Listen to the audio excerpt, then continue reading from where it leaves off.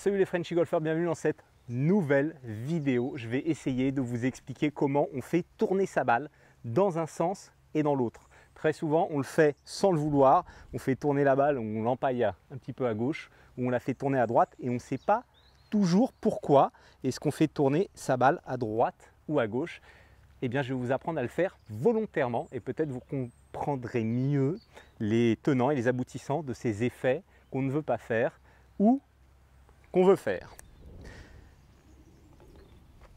Je vais vous expliquer déjà pourquoi une balle tourne. Eh bien, une balle de golf, quand on la frappe, elle tourne toujours vers l'arrière. D'accord? C'est ce qui nous donne un effet de spin. Même avec le driver, elle a toujours du spin ici, arrière, d'accord? Toujours du spin vers l'arrière. Eh bien, quand on fait un effet, elle a un spin arrière, mais aussi légèrement sur le côté.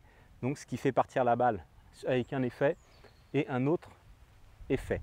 Donc elle a un axe de spin qui n'est pas parfaitement vertical par rapport à sa direction, qui bouge légèrement à droite ou à gauche. Pourquoi on a cet axe qui est différent? Eh bien parce que quand on frappe la balle, notre chemin de club diffère de notre direction de face de club.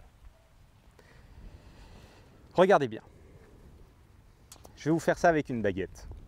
Si par exemple, là, je joue le poteau blanc qui se trouve juste là-bas. Je vais m'aligner. Je vais mettre ma face de club vers le poteau blanc, on est d'accord Je prends mon temps car cette vidéo est très importante. Ma face de club est vers ce poteau. Mais ensuite, si mon chemin de club lui, par rapport à la face de club qui est orientée vers ce poteau, si mon chemin de club ici suit la baguette blanche et que la face de club impacte la balle orientée vers le poteau, ma balle va tourner. Et là, en l'occurrence, avec ce chemin de club et une face orientée plus à droite que le chemin du club, vous pouvez le faire chez vous, mettre les baguettes pour comprendre, elle va tourner de gauche à droite et donc elle va faire du fade ou du slice. Jusque là, on est bon. Le draw, c'est exactement la même chose. On est beaucoup plus nombreux à essayer de faire du draw que du slice. je vais vous expliquer le draw. Eh bien, on garde la baguette orange vers notre poteau rouge Parfait. Et là, on va avoir un chemin de club qui va être plus de la gauche vers la droite avec une face qui impacte la balle toujours orientée sur notre baguette. Donc la baguette blanche, c'est le chemin de club. La baguette orange, c'est l'orientation de notre face de club au moment de l'impact, au moment où on impacte la balle. D'accord? Il peut bien sûr différer du moment enfin, du moment où on se met à l'adresse. En l'occurrence, là, on imagine que ma face de club revient de la même manière. Elle est positionnée sur la baguette orange et je swing ici dans le sens de cette baguette blanche. D'accord? Vous voyez ici, face de club orange et le chemin de club sur la baguette orange. Si on fait ça, on va faire du doro. C'est sûr, c'est obligé. Si en tout cas on arrive à le répéter, on va faire tourner sa balle de droite à gauche. Il n'y a aucun doute là-dessus. Alors, comment vous pouvez faire un effet? Eh bien, c'est très simple. Vous prenez deux baguettes. D'accord? Deux baguettes. Une que vous allez positionner devant votre balle, ici. Là, on va d'abord faire un fade. Donc vous allez orienter la baguette vers la gauche et vous allez orienter la baguette, l'autre baguette, la baguette orange, vers la cible. D'accord? Vous allez positionner votre face de club sur la baguette orange, mais vous allez positionner votre corps, donc vos pieds vos hanches et vos épaules parallèles à la baguette blanche qui est devant. On est ouvert, d'accord? Face de club sur la baguette orange.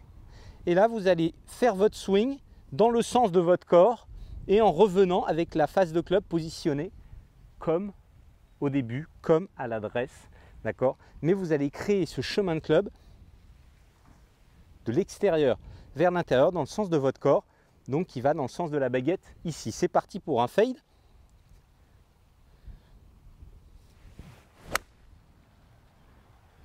On y est, magnifique, on a une balle en fade qui termine 50 cm à droite du poteau. Fantastique. Ensuite, le draw. Eh bien, c'est la même chose, mais on va changer nos baguettes. Eh bien, même pas. On va même pas changer nos baguettes, puisque je vais vous faire comprendre ça sans changer les baguettes. Vous allez positionner votre face de club sur la baguette blanche, ici. D'accord? Et vous allez positionner votre corps sur la baguette orange. Et on va swinger dans le sens de la baguette orange avec cette face de club orientée sur la baguette blanche. Donc vous conservez les deux baguettes, mais vous changez l'organisation. Au lieu de mettre la face de club sur la baguette blanche et le corps sur la baguette orange, et eh bien là vous allez faire l'inverse. Vous mettez euh, la face de club sur la baguette orange et le corps sur la baguette blanche. Euh, non, pardon. La face de club sur la baguette blanche et le corps sur la baguette orange. Excusez-moi, je pense que vous m'avez compris. On positionne notre face de club sur la baguette blanche. Alors là, pour le coup, comme je n'ai pas changé les baguettes, on va finir à gauche de ce poteau blanc, ça c'est sûr. Hein. Et on positionne notre corps, donc plus à droite que notre face de club, sur la baguette orange et on va bien sentir qu'on laisse le club aller dans le sens de notre corps et donc dans le sens de cette baguette orange. C'est parti pour une balle en draw. Et on a une balle qui est parfaitement en draw. Bon, elle reste un tout petit peu à droite, mais elle fait le draw sans aucun problème. Tout est dit.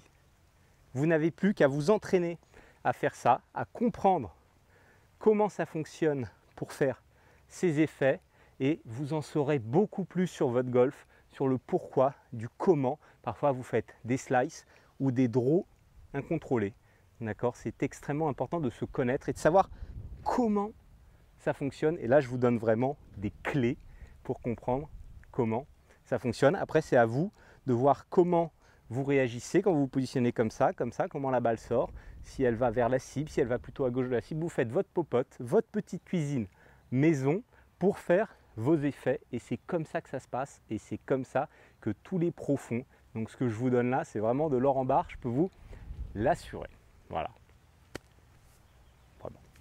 Alors, si vous venez de découvrir cette vidéo et que ça vous a plu, bah, s'il vous plaît, abonnez-vous à la chaîne si vous n'êtes pas encore abonné en cliquant en bas à droite. Si cette vidéo vous a plu, que vous voulez me donner un coup de pouce, s'il vous plaît, abonnez-vous. C'est top pour moi. Mettez un petit like sur la vidéo.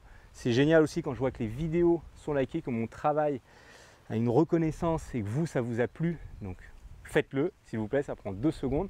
Posez-moi une question en commentaire, j'y réponds avec grand plaisir.